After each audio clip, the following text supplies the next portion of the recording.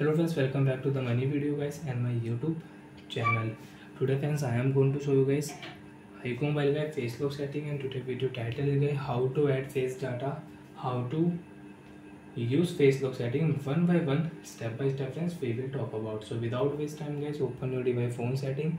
Then friends you can add face lock data. You can unlock your iQOO mobile with face lock.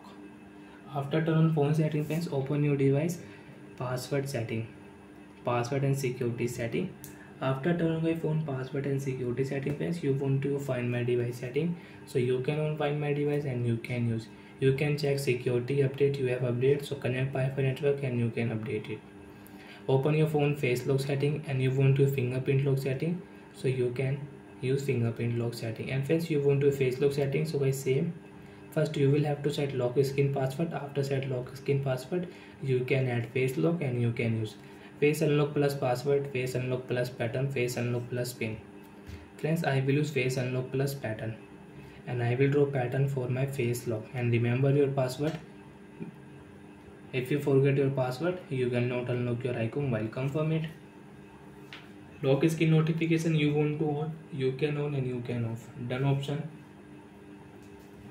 okay option show your face face lock will add and you can use face lock in your iQOO mobile after show face friends you can see face lock will add face lock data will set and we can use it. Lock your device screen. You can unlock your iQOO mobile on your lock screen friends show your face. Phone will unlock automatic without password. And you can unlock your iQOO mobile with password also. Swipe here don't show your face. Draw pattern and you can unlock iQOO mobile so like that friends we can face lock setting we can add face lock we can unlock iQOO with face. Lock bye friends. Thanks for watching the video guys